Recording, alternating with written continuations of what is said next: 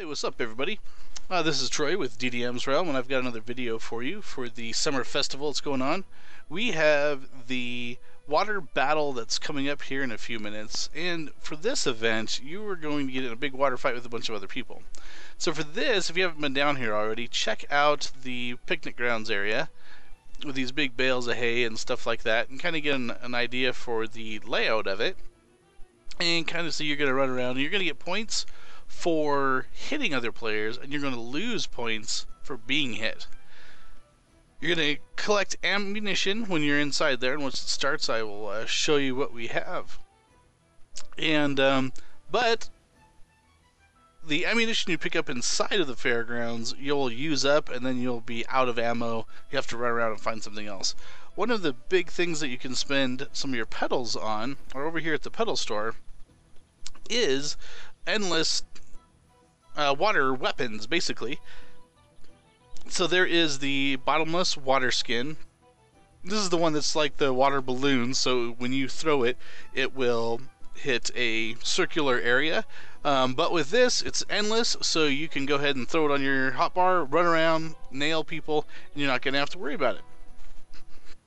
Alright, the endless bucket of water hits a bigger area, which is kind of nice, but it has a longer delay on it if you see that has a 6, that has an 8. So you can maybe hit some more people with it. It's a little harder to dodge, but the resplash or the the the recharge timer there is a little bit longer. And then the decanter endless water has the longest one, but it's pretty cool. It shoots out a big line of water in front of you. I think it probably hits the biggest area and is the best way and easiest way to ambush people with it. Um, so the bottomless water skins and the decanters both spawn inside of there. So you can pick them up, throw them on your hotbar.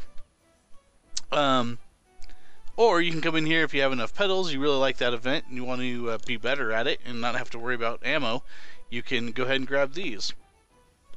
As that event is, um, before that event gets going, I always like to come over here, make sure you're ready for the event. So to do that, I am going to go into my inventory and I'm not going to need any of my potions or my other stuff here. Um, so I'm going to actually pull out my hotbar stuff. So as I pick up the ammo, it'll automatically load. So I'm going to keep an eye on where that loads up. Uh, if you don't have it already loaded, you can go ahead and move it like everything else. But if you go into the water fight with these empty, bam, you're ready to pick up stuff. You don't have to worry about moving it in the middle of a fight. Because remember, if you're hit with water, your score will go down. Um, so it's important that you have a positive score on this one so you can get some better rewards. Like the other events, you can get the you will have the best rewards for first place and second place, but these events happen so frequently and you can go to each one and get it. You're really working hard to get first and second isn't that important. What's really the most important is that you just rank for it so you get rewards. And like you, you can get four rewards an hour plus some of this other stuff that you can do. Um, you will be able to get as many ingredients and petals and items from the summer event as you want, especially if you have some time just to hang out here for a couple hours a day, you know. If you want to get crazy and get everything, it is definitely possible. So I don't have any ammo in here, so I'm actually not going to be at the very entrance. I'm going to sneak back here to the back corner where we were farming our uh, trolls and kind of be back here so when it starts I can collect some ammo in peace without getting hit.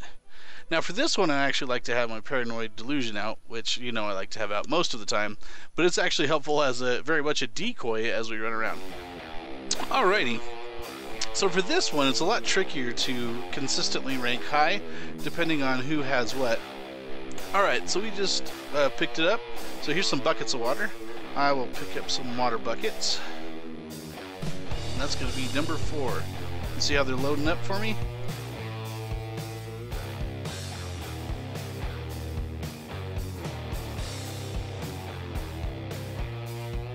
So let's try some decanters.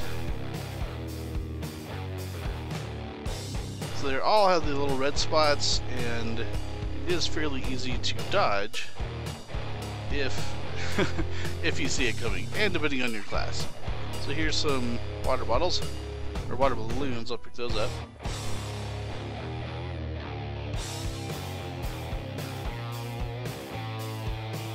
It's important to always keep moving here. Hold still, you will get hit.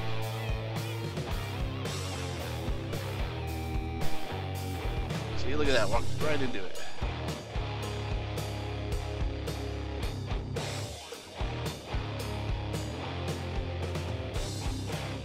So if you're looking and seeing where people are running and mostly fighting, you can use the decanter to kind of hit that area.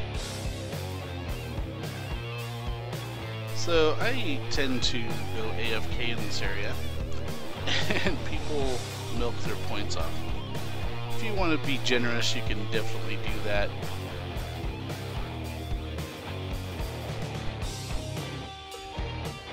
Quite the water battle going on here.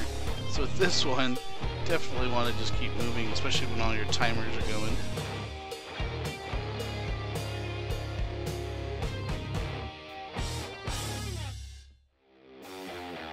So you see you have the little edges here, you can escape these edges to uh, jump on out. Now obviously I have not spent a lot of time on this one. Or I just don't have the knack of it maybe.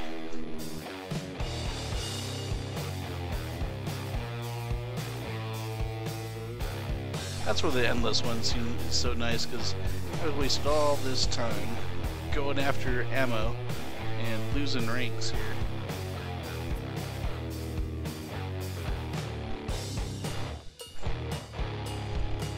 Some classes have that nice dodging ability, they can get out of here. This particular class, my uh, paladin here, is not, not the best. Slow anyway, on top of has no dodging out of the way ability. It's meant to take it, and it certainly does for these this event.